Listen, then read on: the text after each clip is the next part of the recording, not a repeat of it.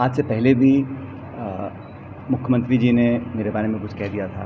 मुझे कुछ नाकारा निकम्मा बहुत सारी बातें बोल दी थी। लेकिन देखो अशोक गहलोत जी क्या है?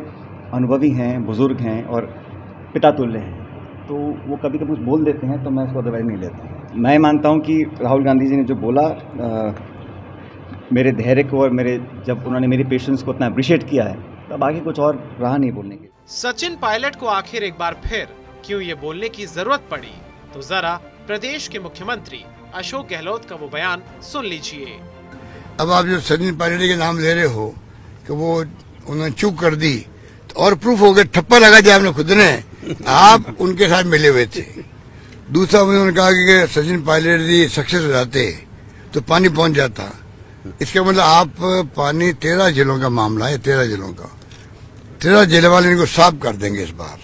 दरअसल इस विवाद की वजह मानी जा रही है दिल्ली में सद्भावना सभा में राहुल गांधी का दिया गया वो बयान, जिसमें उन्होंने सचिन पायलट के सब्र का ज़िक्र किया था। तो जरा पहले आपको राहुल गांधी का वो बयान भी सुनवा देते हैं। कह देना था,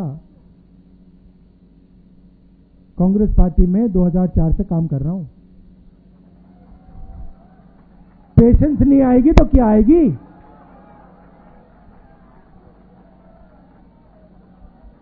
इस बात को कांग्रेस पार्टी का हर नेता समझता है।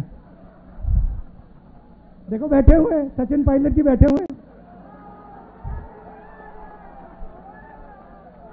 सब बैठे हुए मैं बैठा हूँ।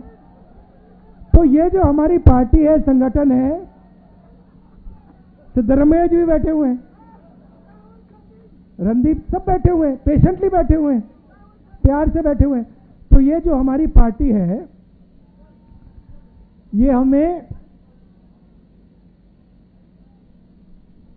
थकने नहीं देती है।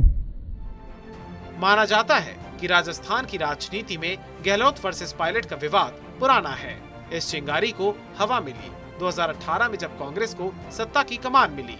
अब देखना था इस पर विराजमान कौन होता है। बस यहीं से प्रदेश में कांग्रेस के दो गुट खुलकर आमने सामने आ गए और बात सिंहासन से सड़क तक आ गई। मामला दिल्ली पहुँचा। वहाँ भी प्रदेश के दोनों नेताओं की खूब भागम भाग रही। और अंत में तत्कालीन अध्यक्ष राहुल गांधी ने कुछ इन शब्दों में कर दिया, united colours of Rajasthan.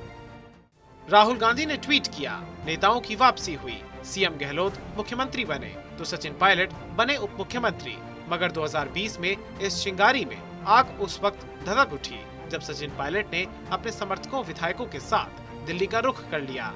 Pilot की ओर से बगावत में किसी ने ऐसा कुछ नहीं बोला जो चुभने जैसा हो। मगर खुद सीएम गहलोत ने पायलट के लिए जो कहा उसकी टीस आज भी पायलट के मन में बसी है। इसलिए उन्होंने उस बात का ज़िक्र भी कर ही दिया।